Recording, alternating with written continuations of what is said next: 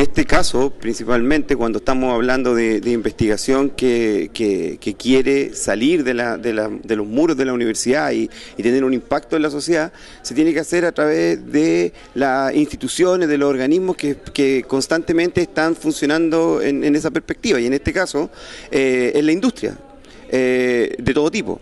Ahora estamos trabajando en un tema específico que tiene que ver con la biomedicina, eh, con la medicina y la biología, por lo tanto la empresa Pfizer Chile, que es una empresa que, cuyo rubro tiene que ver con el, estudio de las enfermedades y la búsqueda de, nuevos marcadores y nuevas, nuevas eh, soluciones para problemas de la medicina, es el vehículo natural con el cual nosotros tenemos que entrar a dialogar como Universidad de Chile para que nuestros investigadores tengan la oportunidad de, realmente concretar los sueños que se han planteado a través de la investigación.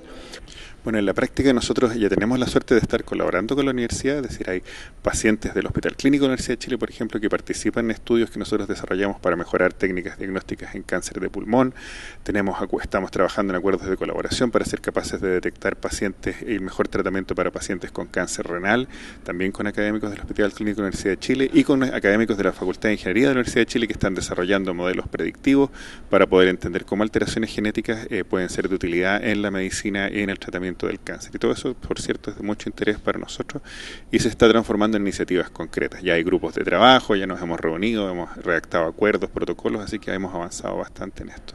La investigación biomédica no se hace sin colaboración y con la colaboración que estamos haciendo en lo público, lo privado y lo academia, eh, estamos buscando desarrollar ese círculo virtuoso, hacer que la rueda gire en torno al desarrollo de investigación de biotecnología de frontera en Chile.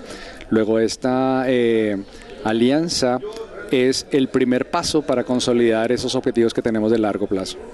Nosotros tenemos proyectos en el cual estamos secuenciando tumores en pacientes, un proyecto FONDEF. Y con estos otros proyectos vamos a poder ampliar y vamos a secuenciar no solamente los tumores, sino que también el plasma. Y no solamente 10 genes, sino que 50 genes. Fija?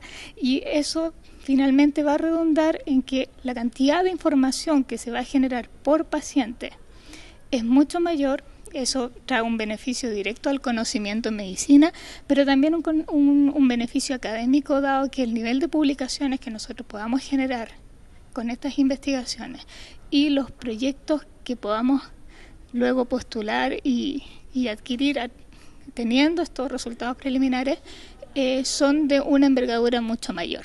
Hace dos años estamos desarrollando proyectos para atacar el cáncer cerebral y esto a través de una red bastante fuerte con la Comunidad Europea. Hay un proyecto financiado. En este momento ya estamos en la etapa de comenzar a probar nuevas drogas en modelos preclínicos de cáncer cerebral.